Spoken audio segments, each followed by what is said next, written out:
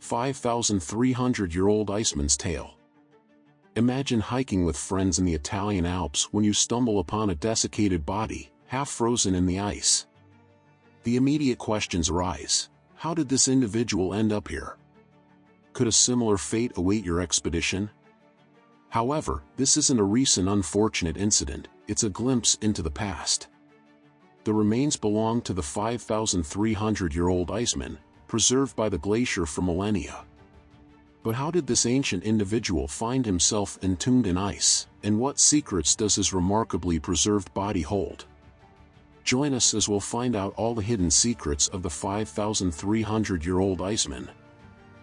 Discovery Just over 30 years ago, the discovery of a famous mummy in the Ötztal Alps, on the border of Austria and Italy, captivated the world. This mummy, known as Otzi the Iceman, was found on September 19, 1991 by two German tourists lying face down in the ice near a high-altitude lake. The extreme conditions at this location, nearly two miles above sea level, preserved Otzi naturally for over 5,000 years, thanks to the effects of sun, wind, and freezing temperatures. The body was discovered on September 22 and recovered the next day. It was taken to the medical examiner's office in Innsbruck along with other items found nearby.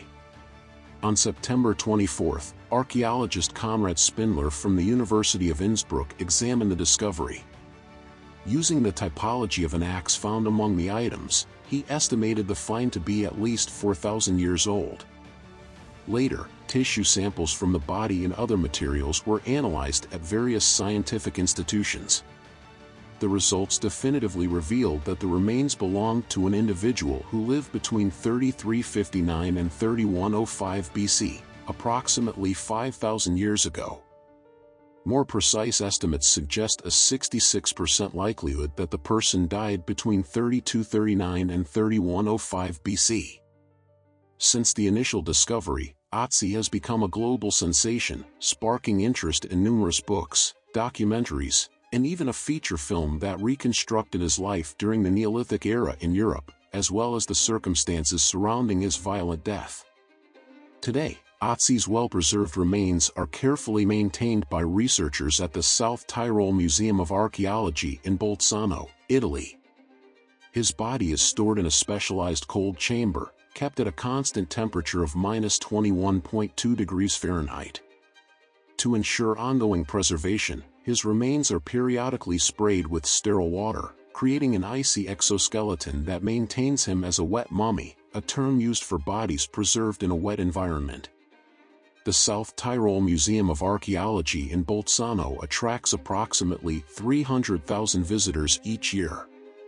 These curious individuals come to marvel at Otzi through a thick glass window that provides a glimpse into his frosty chamber. The demand to see Otzi extends beyond the general public, as scientists seize the rare opportunity to study the remarkably well-preserved remains of a man who lived in an era predating the earliest cities in Europe and even before the construction of Egypt's first pyramid. According to Oliver Peschel, the Munich-based forensic pathologist overseeing Otzi's conservation, Otzi is, in my eyes, the best investigated human body the whole world has ever seen. Who was Otzi? Otzi, also known as the Iceman, was a slender and short individual, standing at a height of 5 feet 2 inches. When he met his demise, he was around 46 years old. Despite his seemingly small stature, Otzi had a robust and intriguing life story that modern science has uncovered. This ancient traveler was a left-handed individual who wore a U.S. men's size 8 shoe. His eyes, originally believed to be blue, were later discovered through genomic analysis to be brown. Likewise, his hair was dark brown, and he possessed a typical Mediterranean skin tone, as shared by Albert Zink, the head of the Eurac Institute of Mummy Studies in Bolzano, a key contributor to Otzi's research. Otzi's physical condition and health have been extensively studied, revealing a myriad of details about his life. Not only did he have type O blood and suffer from lactose intolerance, but a rare genetic anomaly prevented the formation of his 12th pair of ribs. This discovery, along with evidence of cavities, intestinal parasites, Lyme disease, and various joint and bone ailments, paints a vivid picture of Otzi's health struggles. His body, adorned with 61 tattoos, served more than just decorative purposes. These tattoos were strategically placed over areas where his bones and joints exhibited signs of wear and tear, as well as on points that align with modern acupuncture practices. Otzi experienced numerous physical challenges during his lifetime, including broken ribs and a broken nose. Horizontal grooves on his fingernails suggested periods of repeated physical stress, likely linked to malnutrition in the months leading up to his demise. Furthermore, genetic analysis indicated a predisposition to arteriosclerosis, and a CT scan confirmed that Otzi holds the title of the world's oldest known case of heart disease. Through carbon dating, it has been established that Otzi lived approximately 5,200 years ago, placing his existence between 3350 and 3110 BC. Body and health conditions when his well-preserved body was discovered, it weighed approximately 13.750 kilograms. The icy cocoon that enveloped him shortly after death played a crucial role in slowing down the natural process of decay. Initial reports suggested the absence of certain body parts, including his penis and scrotum, but subsequent investigations debunked these claims. Otzi's body held secrets waiting to be unveiled through meticulous analysis his childhood roots were traced to the vicinity of Feldthurns in present-day South Tyrol, north of Bolzano. However, as he grew older, Otzi ventured about 50 kilometers farther north, settling in valleys. In 2009, a CAT scan brought to light an intriguing discovery, the displacement of his stomach to the lower lung area. A closer look at its contents revealed the remnants of a recent meal, consisting of ibex meat and wheat grains. DNA analysis confirmed the presence of ibex meat, indicating that Otzi had eaten less than two hours before his demise. Further inspection of his intestinal contents disclosed two distinct meals consumed in the hours leading to his death, one featuring chamois meat and the other red deer, both accompanied by herb bread, roots, and fruits. Otzi's diet wasn't limited to these meals, his provisions included processed einkorn wheat bran, likely in the form of bread the vicinity of his body yielded traces of chaff, einkorn, barley grains, flax and poppy seeds, sloes, and various wild berries. Hair analysis painted a picture of his diet several months before his death, indicating consumption in a mid-altitude conifer forest with evidence of domesticated crops like wheat and legumes. Hair analysis provided insights into Otzi's diet from several months before his death pollen in the first meal indicated consumption in a mid-altitude conifer forest, while other pollens suggested the presence of wheat and legumes, potentially domesticated crops. High levels of copper particles and arsenic in Otzi's hair, along with his pure copper axe blade, led scientists to speculate that he may have been involved in copper smelting. Examination of the proportions of Otzi's tibia, femur, and pelvis suggested a lifestyle involving long walks over hilly terrain, indicating the possibility that he was a high-altitude shepherd. Modern 3D scanning technology was used to create a facial reconstruction, depicting Otzi as looking tired and ungroomed for his age. Health-wise, Otzi apparently had Trichuris trichiura, whipworm, an intestinal parasite, and several of his right ribs were cracked. His fingernail lines indicated he was sick three times in the six months before his death. His epidermis, the outer skin layer, was missing due to the natural mummification process in ice. Otzi's teeth showed considerable deterioration from cavities, possibly linked to his grain-heavy, high-carbohydrate diet. DNA analysis revealed that Otzi was lactose intolerant, supporting the theory that lactose intolerance was still common during his time, despite the spread of agriculture and dairying. Endoscopic examination of Otzi's lungs showed blackening, likely from frequent exposure to open fires for warmth and cooking. Otzi had a total of 61 tattoos on his body. These tattoos were made up of 19 groups of black lines, each ranging in width from 1 to 3 millimeters and in length from 7 to 40 millimeters. The tattoos included parallel lines along his body and on both sides of his lower spine, a cruciform mark behind his right knee and on his right ankle, and parallel lines around his left wrist. Most of these markings were concentrated on his legs, with 12 groups of lines. Microscopic examination of the tattoo samples revealed that they were made from pigment derived from fireplace ash or soot. This pigment was then rubbed into small linear incisions or punctures on Otzi's skin. It's believed that he was repeatedly tattooed in the same locations, as many of the tattoos appear quite dark. Radiological examination of Otzi's bones showed signs of age-conditioned or strain-induced degeneration corresponding to many tattooed areas. This included osteochondrosis and slight spondylosis in the lower spine, as well as wear and tear degeneration in the knee and ankle joints. Some speculate that these tattoos may have served as a form of pain relief, similar to acupressure or acupuncture, even though Otzi lived over 2,000 years before these practices were known in China. Initially believed to be the oldest tattooed human mummy, later discoveries in 2018 revealed tattoos on nearly contemporaneous Egyptian mummies. Many of Otzi's tattoos went unnoticed until 2015 when researchers used advanced imaging techniques to capture images on different light wavelengths, revealing the full extent of his tattoos that are difficult to see with the naked eye. What he wore. He was wearing a bunch of stuff like a hide coat, skin leggings, a fur hat, and shoes stuffed with hay but because the leather and fur were really old, scientists couldn't figure out exactly which animals the clothes came from. Knowing why people in the past used certain animals for their clothes, whether they were local or from far away, wild or domestic, can tell us interesting things about history. Like, did they wear clothes just for practical reasons, or did it show how important they were in society? Scientists looked at nine pieces of leather and fur from the Iceman's clothes and found ancient DNA in them.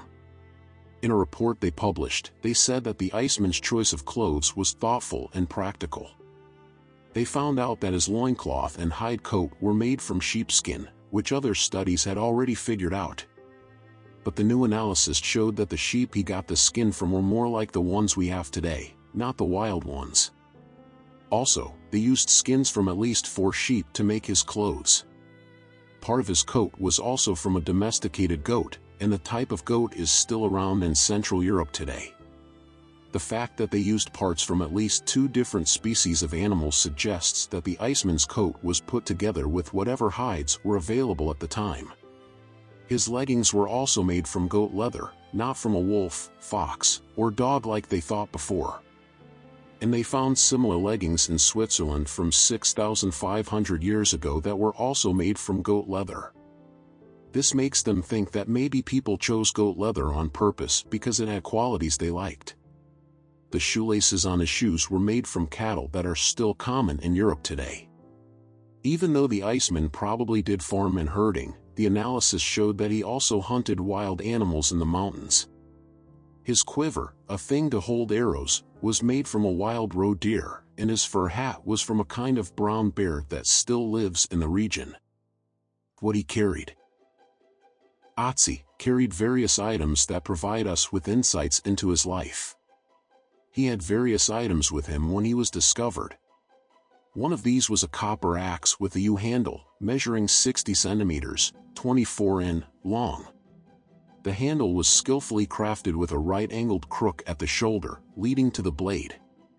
The axe head, about 9.5 centimeters long, was made of nearly pure copper through a process involving casting, cold forging, polishing, and sharpening. What makes Otzi's copper axe intriguing is not just its craftsmanship but also its origin. While copper ore sources were available in the Alpine region during Otzi's time, a study revealed that the copper in his axe came from southern Tuscany. The axe head was securely attached to the U-handle using birch tar and tight leather lashing. The exposed blade showed signs of use, indicating that Otzi relied on it for chopping and cutting. During his era, owning such an axe was not only practical but also symbolized status. Apart from the copper axe, Otzi carried a chert-bladed knife with an ash handle and a quiver containing 14 arrows with viburnum and dogwood shafts. Two of the arrows had flint tips and stabilizing fins, while the remaining 12 were unfinished and untipped. The quiver also contained what is believed to be a bow string, an unidentified tool, and an antler tool for sharpening arrow points. Additionally, an unfinished longbow measuring 1.82 m, 72 in, was found among his possessions. Otzi's belongings included berries, two birch bark baskets, and polypore mushrooms with leather strings through them. One of these mushrooms, the birch fungus, is known for its anthelmintic properties, suggesting medicinal use. Another mushroom was part of a firelighting kit, along with pieces of over a dozen plants, flint, and pyrite for creating sparks. DNA analysis New findings about the Iceman's DNA challenge what scientists previously believed about his ancestors. In 2012, scientists examined his genome and proposed that his ancestors originated from the Caspian steppe.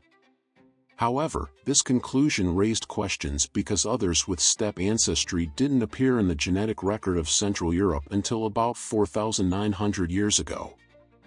According to archaeogenetics Johannes Krause and his colleagues from the Max Planck Institute for Evolutionary Anthropology in Leipzig, Germany, Otzi was considered an outlier due to his age and ancestry mismatch. To re-evaluate Otzi's genetic information, the researchers assembled a new genetic instruction book. They discovered that the previous genome was contaminated with modern people's DNA. The updated analysis, reported on August 16 in Cell Genomics, revealed that the steppe ancestry originally attributed to the Iceman was completely absent. However, Otzi's genetic makeup still holds surprises. An unusually high percentage, approximately 90%, comes from Neolithic farmers. This is noteworthy compared to other Copper Age remains. Krause suggests that Otzi's genetic composition reflects a unique heritage that deviates from the norm. Furthermore, the Iceman's new genome exposes additional details about his physical appearance. Contrary to artistic representations, Otzi had male pattern baldness and much darker skin. The genes responsible for light skin tones, prevalent in modern Europeans, didn't become widespread until 4,000 to 3,000 years ago. This coincided with the shift to plant-based diets among early farmers, reducing their vitamin D intake from fish and meat compared to hunter-gatherers. These revelations challenge previous assumptions about the pace of skin color evolution in Europe. Krause suggests that people in Europe between 40,000 and 8,000 years ago had skin tones as dark as those in Africa. This challenges the conventional belief that Europeans became light-skinned relatively quickly. Instead, it appears that this transformation occurred later in human history, taking thousands of years to become commonplace in Europe. Moreover, Otzi had a really full stomach, and the stuff inside wasn't all broken down by digestion. In 2018, scientists looked really closely at what was in his stomach and intestines to learn about what he ate back in the Chalcolithic times.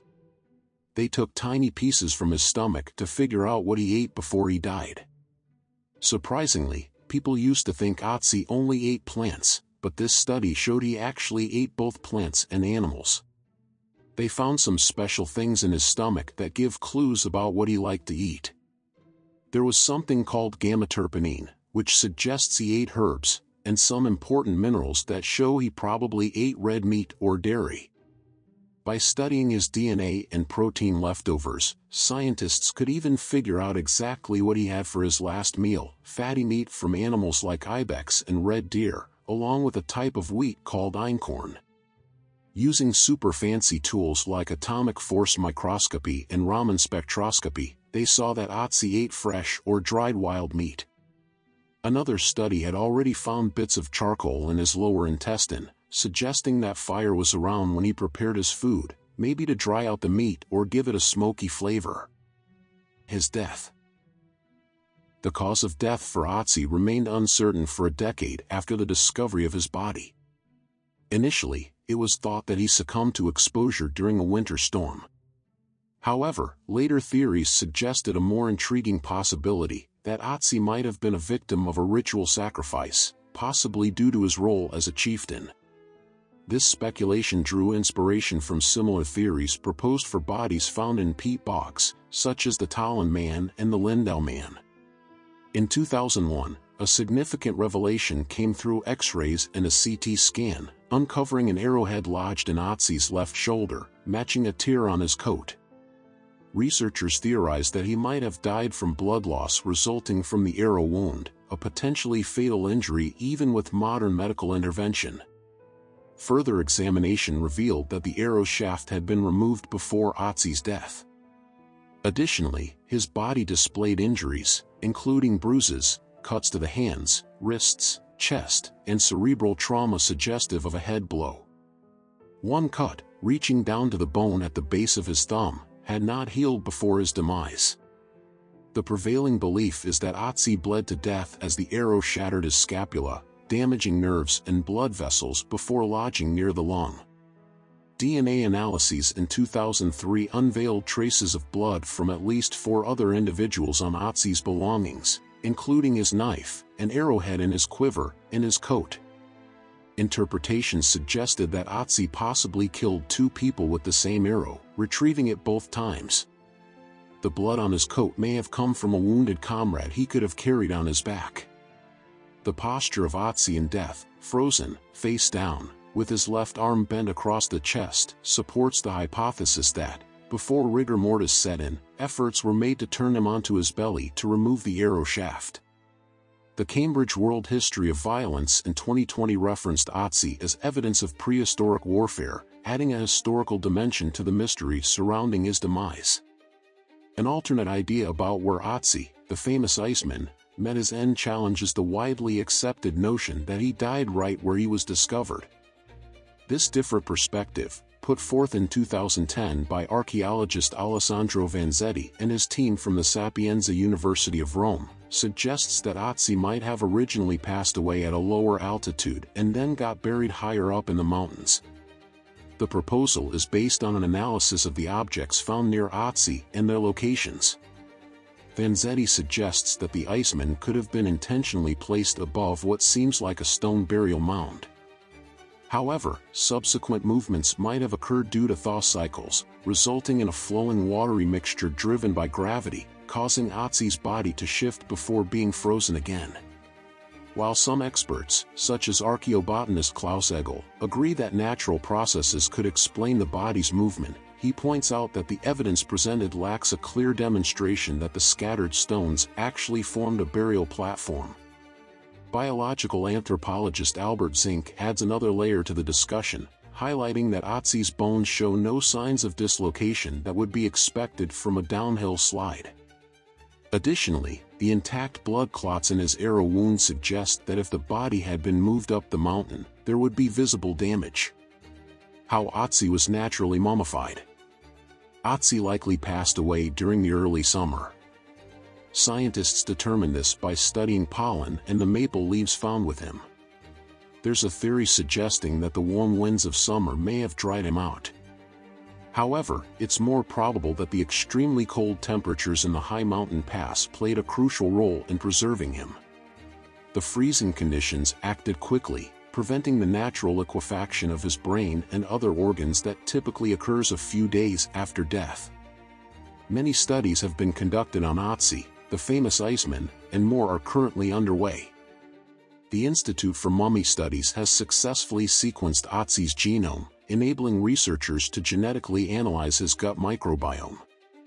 The goal is to gain a comprehensive understanding of the various bacteria that inhabited his stomach and intestines. The significance of gut flora diversity in relation to human health has prompted researchers to investigate Otzi's microbiome. Early findings from an ongoing study by the University of Trento, which involves Otzi and 6,500 modern individuals, indicate that the Iceman possessed three out of the four strains of the bacterium Prevotella copri.